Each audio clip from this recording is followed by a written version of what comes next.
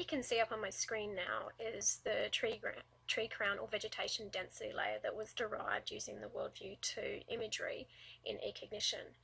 So in the last step, I took that tree crown layer and I actually intersected it with my Landsat grid.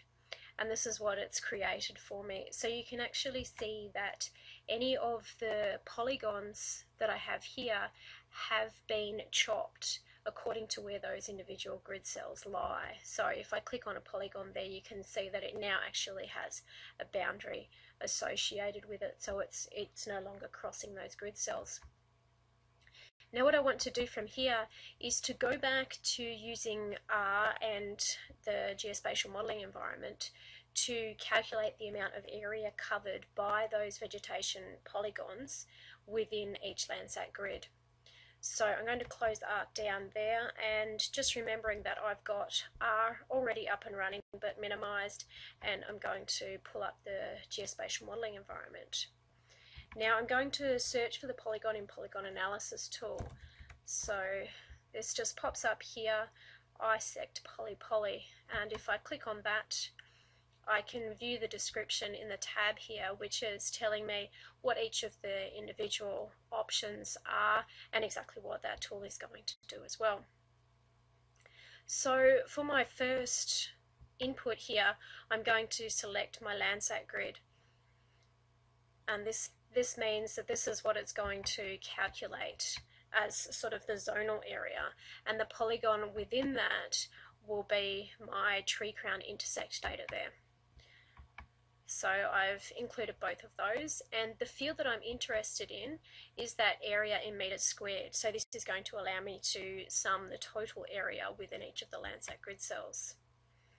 For the prefix, I'm just going to put PIPA to stand for polygon in polygon analysis. And this is just going to remind me exactly what that field that's going to get added to my attribute table is associated with. Now each of these options I'm going to click on Fox, false because I don't actually want those to be calculated. I don't need them in my output for what I'm doing. With the exception of the AWS, which is the area weighted sum.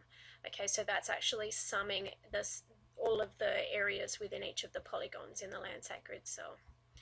So then I can just hit run for that and that will go through the process. And what then actually happens is if I come back to land to ArcView my Landsat grid file will actually have an additional column added to the attribute table here. So you can see it's got the PIPA for the polygon in polygon analysis and the area weighted sum. So that's that column there.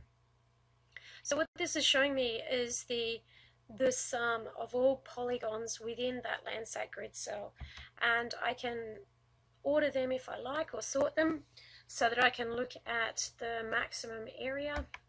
And I'll be able to see that the maximum area is 900 meters squared.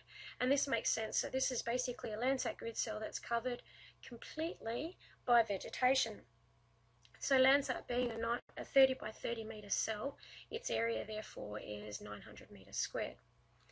Okay, so if this column doesn't actually appear immediately, you may need to close down, um, either close down ARC totally, save your project first, or you can just remove that shapefile and then reopen it again, and then it will refresh.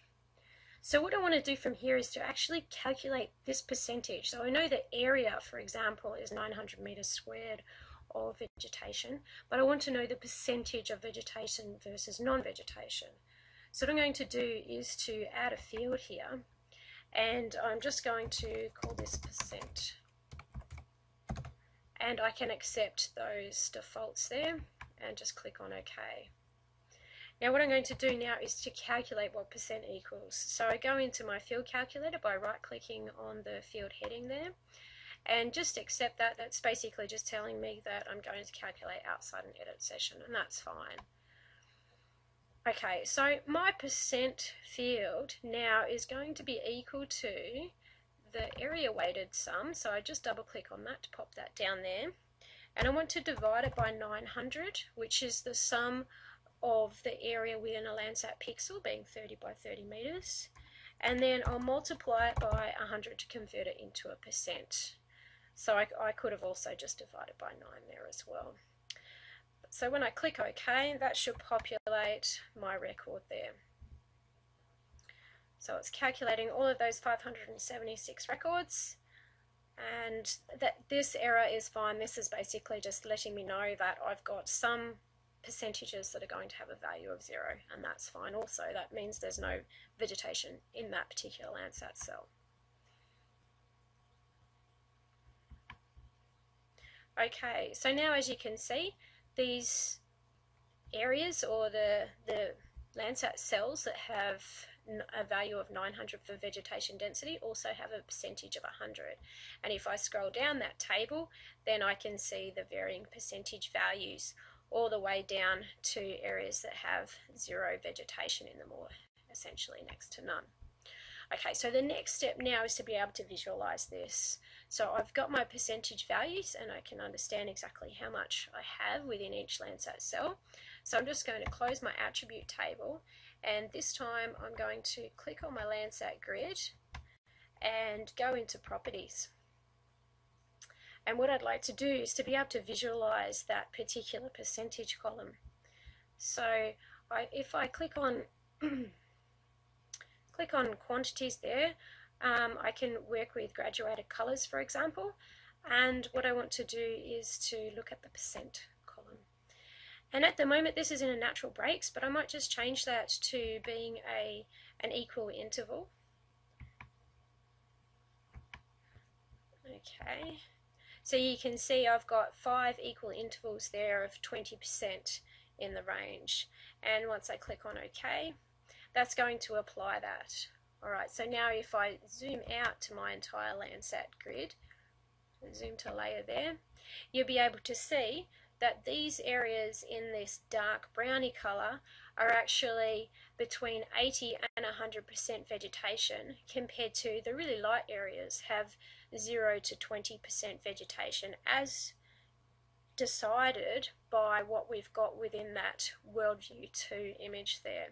So the next step will actually be to both qualitatively and quantitatively assess how well that pattern applies and we can see where, where there might be problems with that as well.